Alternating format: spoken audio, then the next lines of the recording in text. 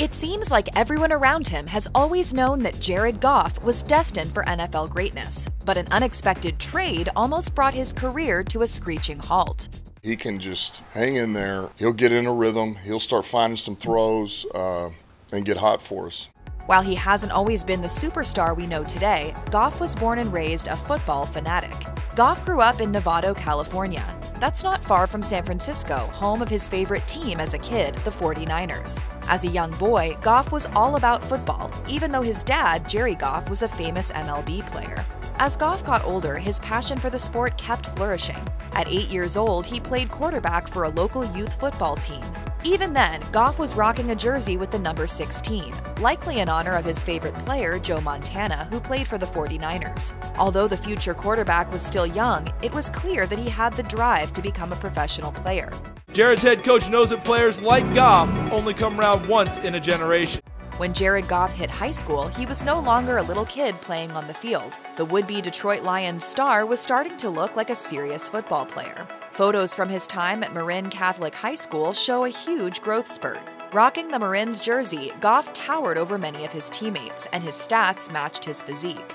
According to Rivals, as a junior, Goff threw 3,220 yards, had 44 touchdowns, and 4 interceptions. His incredible high school career was already piquing the interest of colleges. Goff spilled the details of the schools interested in him during an interview, telling Rivals, Stanford talked to me about getting admitted and they talked about my grades. They want me to come up for a summer camp, so I don't really know what's going to happen. He went on to add, Recently, Oregon, Oregon State, and UCLA have started talking to me. The other schools that have been talking to me have just been regularly recruiting me. Despite all the schools he listed, Goff ended up at the University of California, Berkeley, where he stayed from 2013 to 2015. The 215 pound, 6'4 quarterback played in 37 games over the course of his college career, racking up 12,200 passing yards and 96 touchdown passes. It's pretty much a given that Goff's football skills were going to catch the eye of the NFL, and in 2016, he got his shot at the Pro League when the Los Angeles Rams named him as their first overall draft pick. The Los Angeles Rams select Jared Goff, quarterback, California. Hot on the heels of a successful 2018 season, Goff led the Rams to the Super Bowl against the New England Patriots. As Sports Illustrated noted at the time, the game featured the largest age gap between quarterbacks in a Super Bowl. Goff was 24 at the time, while seasoned Patriots QB Tom Brady was 41.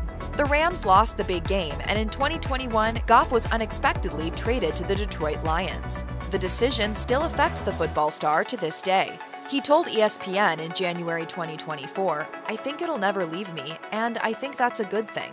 The trade has pushed him to work harder, and it seems to be working. Now 217 pounds and still 6 feet 4 inches, Goff is proving that he can lead a team to win. With a career high in pass completions in the 2023 2024 season, Goff brought the Detroit Lions to the playoffs, and despite starting strong as a child, he only seems to keep getting better. These are the times you dream of as a kid, and you grow up, you know, hoping to be in these final games, and um, we're one win away from, you know, our ultimate goal.